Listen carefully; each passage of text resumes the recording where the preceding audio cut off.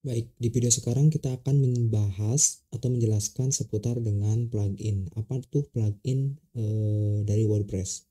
Jadi plugin itu adalah penunjang ya, penunjang untuk pembuatan website. Misalkan teman-teman nanti mau membuat website e-commerce atau membuat e, website kelas online.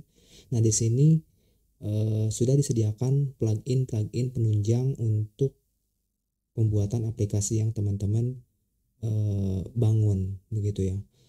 Nah, cara menggunakannya teman-teman bisa langsung saja klik menu plugin ini.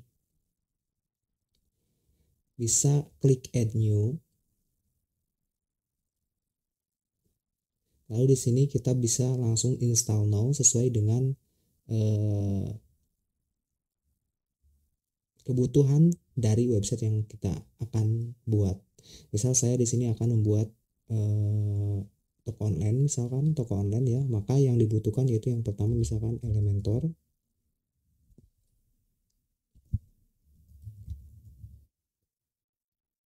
Saya akan menginstal eh, Elementor plugin. Caranya tinggal langsung saja install now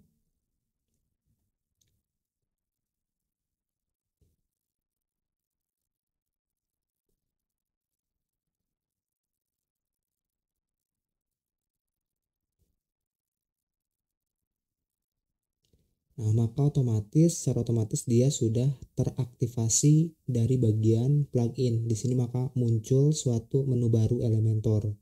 Nah, gunanya Elementor ini adalah suatu page builder. Jadi teman-teman nanti kalau misalkan kita buat halaman bisa langsung dibantu menggunakan Elementor. Itu lebih eh, mudah dan juga eh, istilahnya drag and drop lah kalau misalkan mau mendesain dari sebuah halaman page eh, yang akan kita buat.